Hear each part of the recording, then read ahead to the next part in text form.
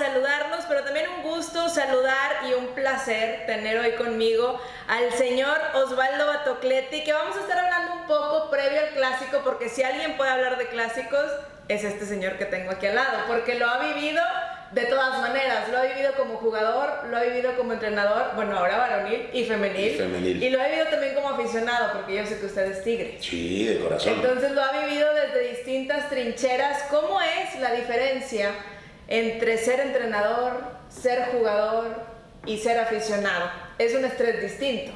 Sí, totalmente, totalmente. Antes que nada, gracias por la invitación. Eh, no, totalmente distinto. Siempre me preguntan y yo lo que le comento es que digo, la, la, mejor manera de vivirlo es dentro del terreno de juego, con, con, cuando estás activo, ¿no? ¿Por qué? Porque bueno, si no te salen las cosas de perdida, le das una patada a alguien, no te desquitas con alguien, pero en la banca pues volteas y a quién le das una patada al de la banca, pues no, son tuyos, son compañeros, ¿no? Sí, se vive totalmente distinto en, en, en, en las distintas etapas que, que, que, me tocó vivirlo. Tuve la suerte de jugar 15, 8 ganados, 6 empatados y 1 perdido y como técnico también perder uno, eh, eh, como técnico de la femenil también perder uno, eh, pero sí, son situaciones distintas y es un, es un clásico distinto. La gente a veces dice, ¿por qué? ¿Qué tiene de distinto a, a, a Chivas América, a Cruz Azul América? Y, y, y para mí la clave de, de, de, de, lo que distingue este clásico es que aquí en Monterrey vamos a pensar en 6 millones de personas y tres son tigres, tres son rayados. Correcto. En, en, otras ciudades hay muchos americanistas, Chivas, Pumas, America, eh, eh, Cruz Azulinos. Exactamente, entonces aquí prácticamente el clásico divide la ciudad y es lo que lo hace totalmente distinto a, a otros clásicos. ¿no? Correcto. Eh, vamos a hablar de la etapa como jugador. Clásico, ¿cómo se siente la presión? Porque como usted lo dice, de seguro tiene familiares rayados también, o un amigo rayado, por ahí, ¿no? Entonces empieza la carrilla y la semana del clásico hay mucho estrés. Incluso el vestidor, mucha gente, en, en jugadores han dicho, es, distinta la semana del clásico, se, se parte. Sí, porque entiendes eh, la responsabilidad que tienes para con la gente, ¿no? Si en realidad eres profesional 100%, entiendes lo que significa para la gente, para la afición. Eh, es un partido donde de ganarlo, eh, la carrilla hacia el rival eh, dura seis meses. Todo, claro. Y de perderlo te dura seis meses a ti, ¿no?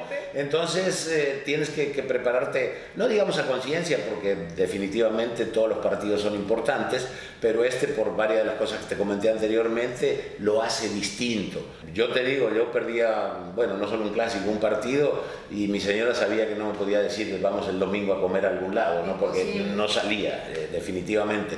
Pero, pero sí, eh, te preparas de distinta manera, te mentalizas de distinta manera, eh, tratas de hacer cosas que no haces en partidos, en otros partidos normales, ¿no? ¿Por qué? Porque, bueno, sabes el significado que tiene. Charla dentro del vestidor.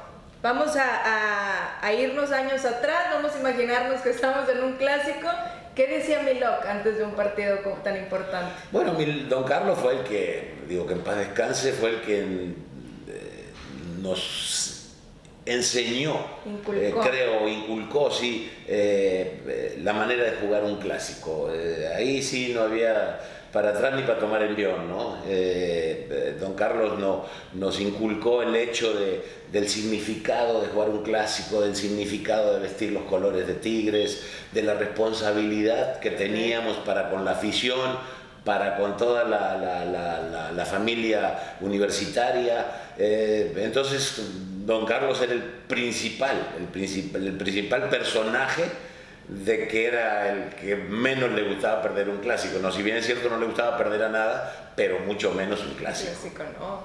Y como bien lo menciona, 16 clásicos, solo le tocó perder uno como jugador uno aquí de local. Bueno, en ese tiempo Monterrey jugaba aquí también. Claro. Por eso.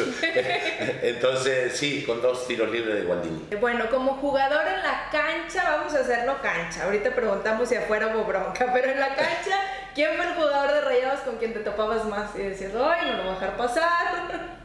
Bueno, en Milton Carlos, un brasileño centro delantero que, que no solo jugaba muy bien, sino un tipo muy fuerte de esos que normalmente uno, bueno, por costumbre como defensa decía, este lo choco dos veces y, y le va a pensar en volver.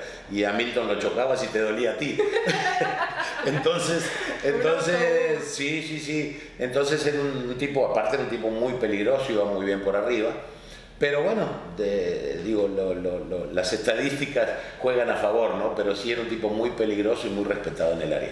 Ok, y fuera de la cancha, ve que a veces las declaraciones pues picosonas, que a lo mejor está bien dentro de una línea de respeto, pero a veces algunos jugadores sí medio se ganchan y, hubo alguna bronca que se llevó. No, mira, yo aquí hubo una época que jugó Carlos Mazzoni, eh, yo fui compañero de Carlos Mazzoni en, Argentina, en Unión de Santa Fe, y él vino a jugar aquí para Rayados, y jugaba Ribeca, que jugaba de 10 eh, en ese tiempo.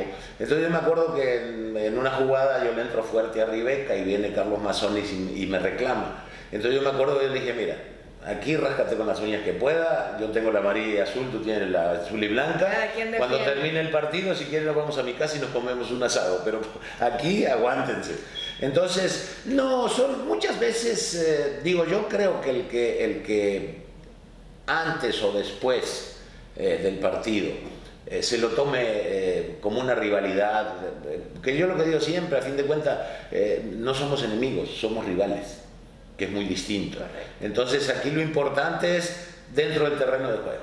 Terminó el partido, amigos, como siempre, digo, ah, toca ganar, toca empatar, toca perder, pero bueno, es parte, es parte del juego, ¿no? Pero, pero que, que no pase de ahí que es igual que, el, que, que, en la tribuna, ¿no? Yo siempre digo que tengamos un clásico con saldo blanco, eso es lo que más me interesa, ¿no? Eh, ¿Por qué? Porque a fin de cuentas, bueno, eh, si bien es cierto que el clásico es totalmente diferente al resto de los partidos, también es cierto que no deja de ser un partido de fútbol y que no va la vida de por medio, ¿no? Dicen que de las cosas importantes el fútbol es la menos.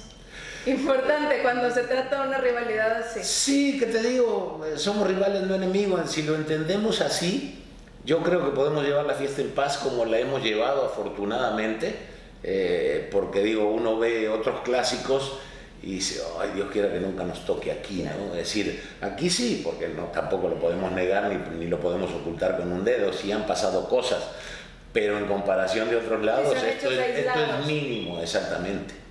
Ok, bueno, quería preguntarle, hablando de esto, de que si hay amigos o no, ¿Tiene Osvaldo Batocleti algún amigo que sea exjugador de Rayados que realmente lo aprecie? Sí, muchos, muchos. Yo digo, eh, tengo afortunadamente de, muchas anécdotas. Yo eh, hubo una época en que escribí en el periódico El Norte, en Editor El Sol. Eh, y un, un, día a, cubrir un partido de Monterrey. Iba yo en mi Caribe, tenía una Caribe naranjadita y en invierno iba con todos los vidrios cerrados, un frío barato. Entonces yo veo por el espejo que viene un carro con las ventanillas abiertas y, gente afuera de la, de, del carro eh, sin playera ni nada y con bandera de rayado y dije, bueno, nada más es así. agárrate. Entonces digo que no me conozcan, entonces se me empareja, se me empareja el carro, entonces me ven y me empiezan a hacer señas que baje el vidrio. Entonces dije, bueno, pues, una ventada más, una ventada menos. Me levantaban 35 mil, dije, 5 o 6 locos, pues no pasa nada. Entonces, dice, eh, me dicen, vato, dice, tú eres el único tigre que nos caes bien. Entonces digo, son eh, cosas que te llenan de satisfacción porque a fin de cuentas dices, bueno, algo hice bien. Eh, que, que, hasta el rival te respete. ¿no? Yo me retiré aquí en el estadio universitario en un clásico que salí con el equipo vestido de jugador, mucha gente se pensó que, que, no me había retirado y que iba a jugar todavía, y era en la época que sí había mitad de estadio de Tigres y mitad de Rayados, y bueno, todo el estadio afortunadamente aplaudiendo, ¿no? Cuando di la vuelta olímpica, entonces digo, es una satisfacción enorme.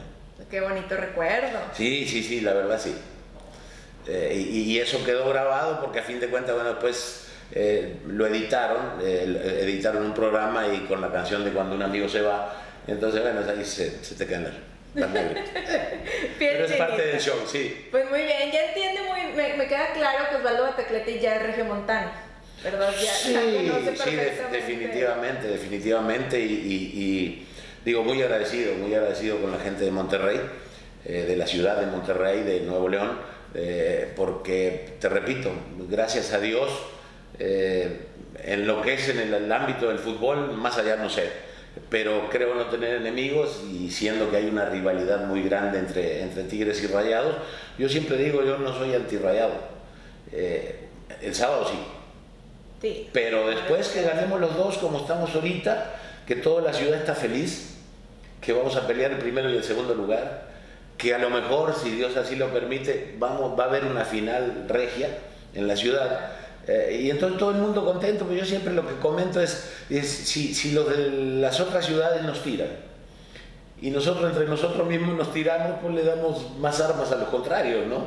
En vez, así como estamos, yo creo que estamos muy bien. Ahorita los dos equipos andan bien, como bien lo menciona, de hecho en este clásico se va a jugar el superliderato. Exacto. Qué padre, ¿verdad? Que los dos equipos vayan bien. Pero ¿hasta dónde está bien o hasta dónde podemos, la carrilla regiomontana, nacimos con ella, pero ya cuando se sobrepasa... No, claro, yo creo que no tiene que pasar de ahí, entender que el que se lleva se aguanta, como dice el dicho, ¿no? Es decir, eh, mejor si, si sabes, por empezar sabes que el fútbol es así que, da muchas vueltas y arriba. No, y a veces gana y a veces pierde. Totalmente. Vamos a jugar el clásico 113. No sé cuántos hay a favor de Tigres, cuántos a favor de Rayo y cuántos empate.